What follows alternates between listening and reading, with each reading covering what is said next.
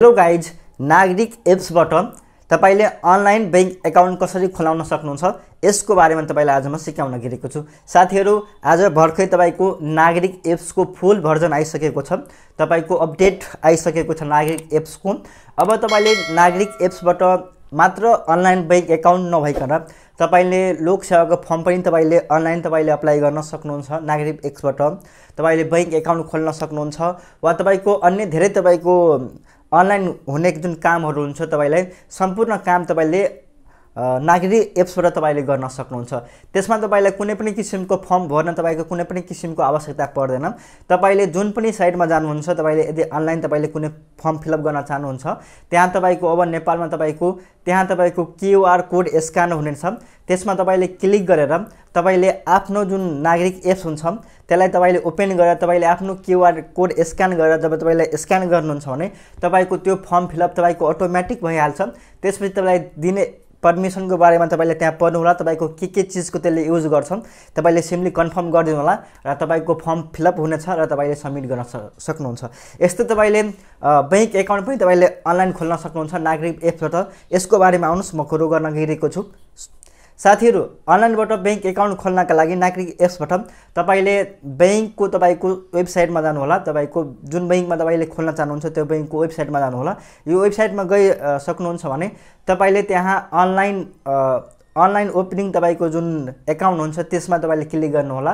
त्यसमा क्लिक गर्नुहुन्छ भने यो साइडमा तपाईँले हेर्न सक्नुहुन्छ तपाईँको क्युआर कोड स्क्यानर रहेको छ। तपाईँको नागरिक एप्समा एप्सको अप्सन दिएको हुन्छ क्युआर कोडको।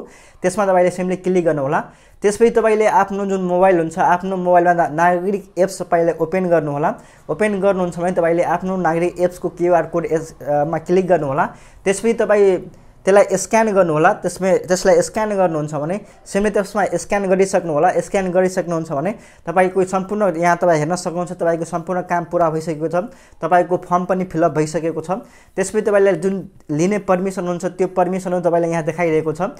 सिम्पली तपाईँले यहाँ कन्फर्ममा क्लिक गर्नुहोला कन्फर्ममा क्लिक गरिहाल्नुहुन्छ भने त्यसपछि तपाईँको त्यहाँ जुन जुन विवरण तपाईँको भर्न छुटेको छ त्यो त्यो विवरणहरू तपाईँले यदि भर्न भर्न सक्नुहुन्छ कुनै विवरण त्यहाँ खाली छ भने सम्पूर्ण विवरण तपाईँले भर्नु होला त्यसपछि तपाईँले सब्मिट गरिदिनु होला तपाईँको अनलाइन तपाईँले खाता यसरी खोल्न सक्नुहुन्छ नागरिक एप्सबाट र तपाईँको आउने दिनहरूमा तपाईँको सम्पूर्ण कुरोको तपाईँको नागरिक एप्समा तपाईँको एक आपसमा नागरिक एप्स र तपाईँको ब्याङ्कको तपाईँको कनेक्सन हुनेछ तपाईँको ब्याङ्क एकाउन्टमा कति पैसा छ वा सम्पूर्ण डिटेलहरू तपाईँले हेर्न सक्नुहुन्छ आफ्नो नागरिक एप्सबाट र तपाईँले अहिले तपाईँको विभिन्न किसिमको अनलाइन फर्महरू भर्न सक्नुहुन्छ तपाईँको आफ्नो डकुमेन्टहरू हेर्न सक्नुहुन्छ एसईको त्यसपछि तपाईँको प्लस टूको तपाईँको आफ्नो नागरिकताहरू हेर्न सक्नुहुन्छ तपाईँको प्यान कार्डहरू हेर्न सक्नुहुन्छ नागरिक एप्सबाट तपाईँले अन्य तपाईँको धेरै कामहरू तपाईँ गर्न सक्नुहुन्छ नागरिक एप्सबाट सो साथीहरू आजको लागि सानो इन्फर्मेसन थियो। तपाईँले भिडियो कस्तो लागिरहेको छ यस्तै किसिमको नयाँ भिडियो हेर्न चाहनुहुन्छ भने च्यानल सब्सक्राइब गर्नुहोला। सब्सक्राइब गर्नको साथसाथै बेल आइकन दबाउनु नभुल्नुहोला। आजको लागि सानो इन्फर्मेसन यही राख्न चाहन्छु। धन्यवाद। Thank you so